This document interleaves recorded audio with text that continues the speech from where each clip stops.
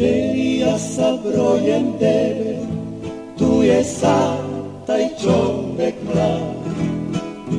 On je na smrt već osuđen, zbog ubistva svoje žene.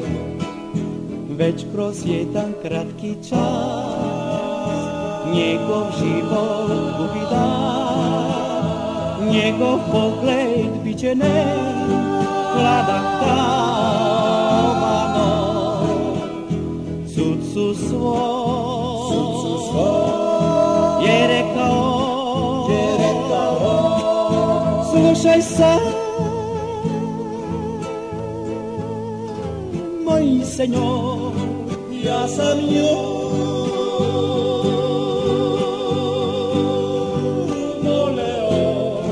Ja sam njoj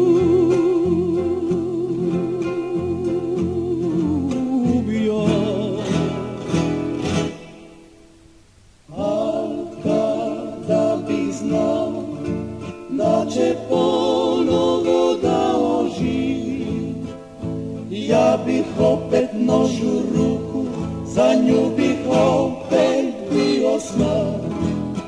I zato mi je teško, za mene umrem i sa zbog nje.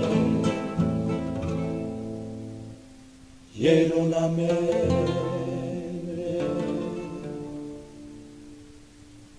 Oh, little